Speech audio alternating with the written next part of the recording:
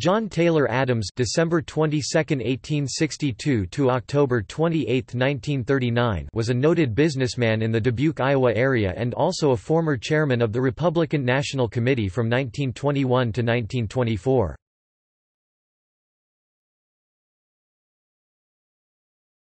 Topic: Biography Adams was born on December 22, 1862 in Dubuque to Shubel Pratt and Diane C. Taylor Adams. He was educated in the public schools of Dubuque.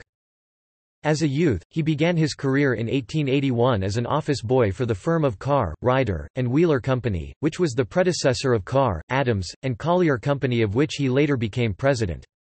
In 1883 he left Dubuque for a business venture in Bismarck, North Dakota. He remained in Bismarck for about a year and then he returned to Dubuque. After his return he became again associated with Carr, Ryder, and Wheeler Company. He rose very rapidly within the company and in 1895 he became president of Carr, Ryder, and Adams. During the last few years of the 19th century, Mr. Adams was one of few in the woodworking industry who realized that forests in northern Wisconsin were about depleted and that new sources of raw materials needed to be found. He developed a relationship with a California company Westside Lumber and Flume Company, of which he would become general manager and also established one of the first cutting mills on the West Coast. Adams was also heavily involved in the political world as well.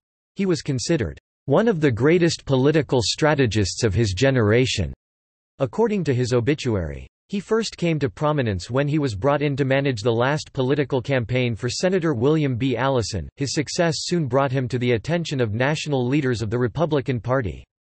In 1912, he helped President William Howard Taft win Iowa over Theodore Roosevelt. Mr. Adams was the Iowa member of the Republican National Committee for many years before his election to the chairmanship in 1921.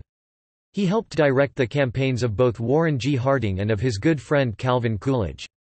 He served as Republican National Chairman from 1921 to 1924. After his retirement as chairman, he continued to serve as president of Carr, Ryder, and Adams Company in Dubuque until his death on October 28, 1939. He was buried in Linwood Cemetery in Dubuque, Iowa.